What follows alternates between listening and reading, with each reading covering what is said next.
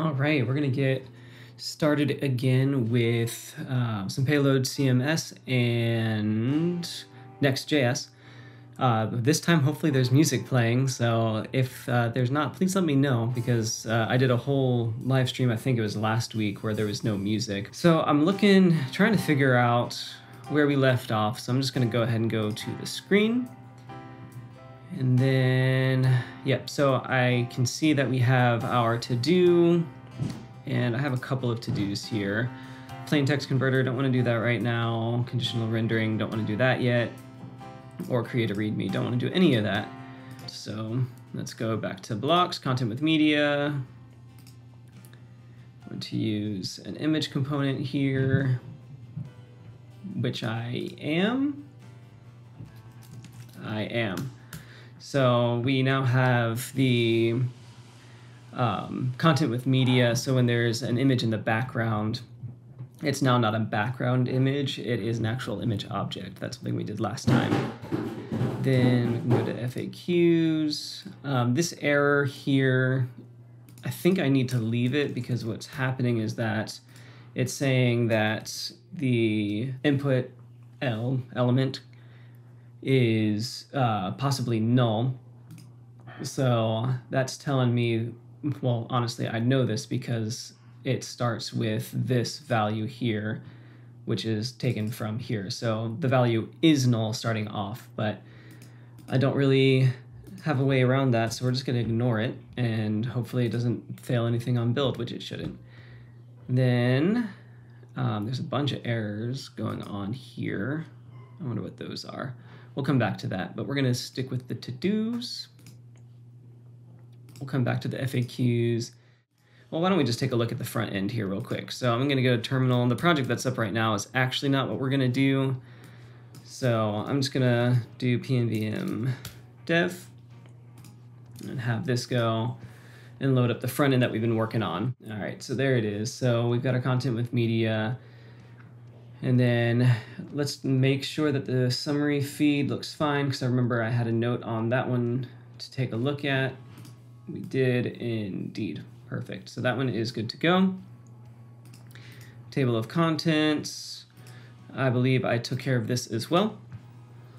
So, oh, I didn't make them into components, but I don't need to. That's taken care of. There we go. Oh lord, so many to-dos. Those primary and secondary buttons now have components. I do want to add a loading button, or really not a loading button, don't really need to do that.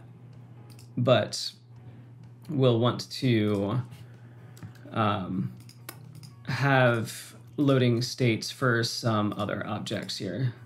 So we're gonna need to take care of the CTA here because when we actually have a contact page, the color is going to disappear. It's gonna blend in with the contact. So we may change what color we use there. That's not the end of the world. Oh, I remember one thing that we wanted to do is if I go to the FAQ section right now, the um, the, the boundaries here just feel a little tight to me, so I want to open that up a little bit. So I'm just going to add probably 20 to the offset height here, which should, on refresh, add a little bit more space there. I could do 40, which is what it was originally before I deleted all of my Tailwind styles, um, which does make it feel like it has a little bit more room to breathe, but I think 20 is fine here. Cool. So there's that. So our FAQ items are good.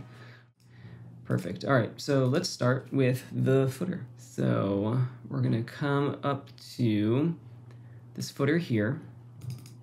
Select the index and really everything that's in here uh, should be deleted because there's a lot of old junk in there. I'm even gonna get rid of this here. There's a lot in there that we don't need. So we'll come over to the footer. And then we're going to export function footer. And I think this is actually going to be an async function because it's going to take um, a global from a payload. But for now, we're just going to return um, a section container that is going to have a content container. Oof. There we go. Which I'm just going to add an H, H2 just to say hello. And then we'll go to our layout, wherever that is. Layout, re-enable the footer here, but I don't have it as a default anymore. So I need to make it in, um, I don't even remember what this is called. So there's default and oh, a named export. So set it as a named export. And then if I re or if I save and I scroll all the way down, we should get a footer. It just says hello there down at the bottom. All right, so that's a good sign. But obviously we don't want the footer to be the same color as everything else. So we're gonna use the section container class name. We'll do classes dot uh, footer section. And we're gonna need to come back up to the footer because we have the, well, first import classes from that. And then we're gonna go into here and do footer section and we're going to do a background color of dark primary. So that's going to make the hello disappear. But that's okay, we don't need to see that anymore.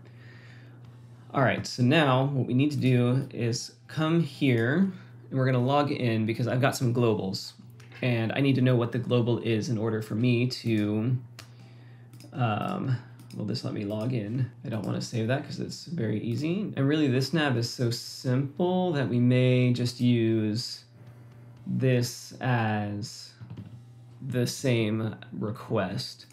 So let's go up to our nav, or I guess down, to where we would check our navs. So we're gonna get this. we do our footer. We're gonna get our navigation in.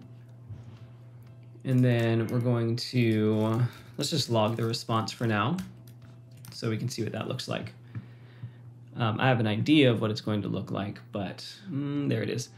So there's a couple things that I want to do here. The first is that if it is just a regular link, so anything that's not no link, will be a link to somewhere else. If it's a no link, then we will use that as like a header and then have all of its nested links rendered on the front end.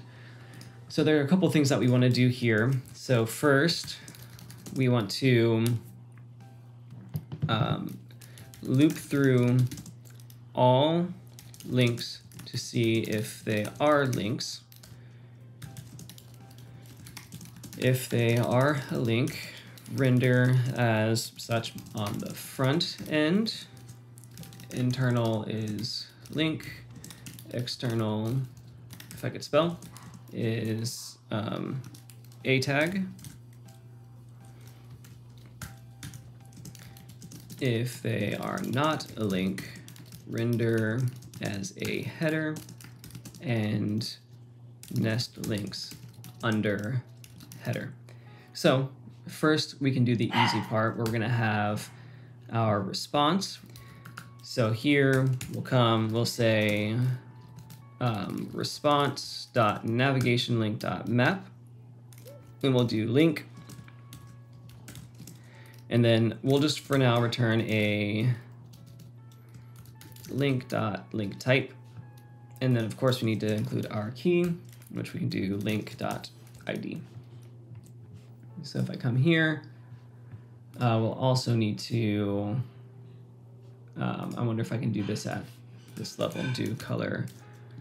Uh, let's just do white for now, that's fine. So we'll do nest it so that we can see everything. All right, so we can see we have internal, external, no link, and external times two again. So we come down to the footer. I'm overthinking the heck out of this. So what we need to do is just a um, link dot link type is equal to internal Then we return a link with an href of link dot, I guess link is what it is. Come back to that in just a second. And then we'll do link, link for href.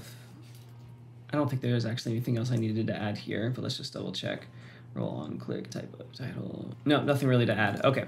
So we see that this is not assignable to URL. So that means I'm reading this data wrong. So when I have an internal, I have a link relation to pages. So I actually need to do a link dot link dot value dot slug. But I need to check type of link dot link does not equal string. And that, and I think I need might need to add dot value type undefined. Um, so it's either that or really. So let's see if any of that worked. So failed to compile for this. Okay. Oh, I need to add. Just do this for now. So the one internal should render, which you see there at the bottom. It's a link that says home. So a lot of type checks just to get to that. No biggie. All right, so now if I refresh, hopefully. Yep, so now I'm looking down there at the very bottom, which might be hard for you to see, but you can see the local host 3000 there at the bottom, meaning that my excessive checking worked. So I'm gonna go ahead and start breaking this down a little bit because I want this to be a little bit easier to read as we get into more of the ternaries here. So we have our link dot link type equals internal, and then we have our proper rendering there at the at the bottom there. So now we need to do link dot link type is equal to external. And so if it is, then we need to return an a href with a link dot link should be enough for this one. And then link, we need to do this link dot name. And let's actually change, just get rid of those errors real quick. Um, empty string. I need to think about that here in a second too. All right, so let's see what we have here. Link, link type equals external. Well, so here we need another type check. So type of link. Let's see if we can do this different way real quick. So I need this to be link dot link dot value dot name. So let's do type of link dot link dot value does not equal string and that. Okay, so name isn't the right field. Is it title? It is title. All right, so now we have href, which we have external should not have any of the relation to fields. Okay, so it's link dot external link, which makes sense. So now if I do this, we should see, oh, did it for me already. So we have our home, our portfolio, our about and contact. And so really what we'll end up doing is for any of these external links, they'll become internal links anyway. But that should be taken care of there. Now, the interesting one, in my opinion, is we're going to come down here, and if it is not that, we'll need to do a no link, which should be we'll say it's a paragraph, and all we're going to do is link dot name. And when we do that, we should see industries pop up. Um, it does break the flow though because I'm using um, something that's not inline though. So if we do span, that should put it back in line. And so here though, what we need to do is have the nested links come into play. So what we'll end up doing is probably changing this to a div, have this be a paragraph, and then under that paragraph, we will have our link dot nested links dot map. And so we're going to map over these again and do a lot of the same stuff here. So we're going to do, just so we can see what this is going to look like, we can do p, we'll do a link dot name, oh shoot, nested links, I think it's dot navigation. All right, so we're going to have to actually look at what this field looks like. So we come back up here, and we're just going to do a log. We're going to do a response. We do a navigation link. Um, if we look here, we have one, two, three, so it's at index two. We'll have navigation link, then we'll have nested links, and then we should be able to see what that looks like. Let me scroll down, and here are our nested links. So yes, we have in our nested link,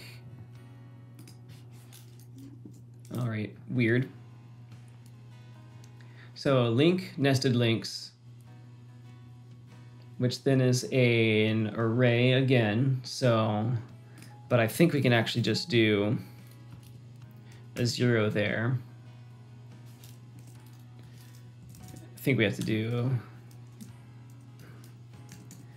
oh, not a map. I don't want to do a map there. So from there, we'll do navigation link and map that which then we need to do that. Let's just finish this out real quick.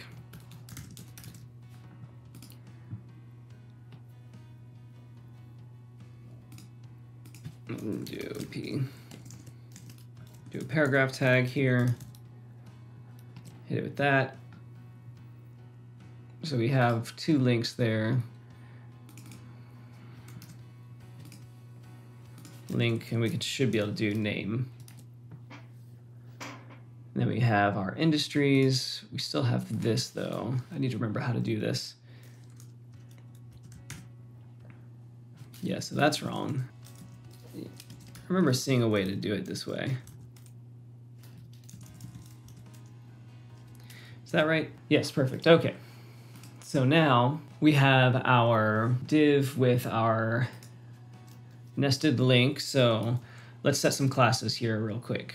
First, we need to check this up here. So there's a there's a little bit going on here. So if we do link dot link type is equal to internal,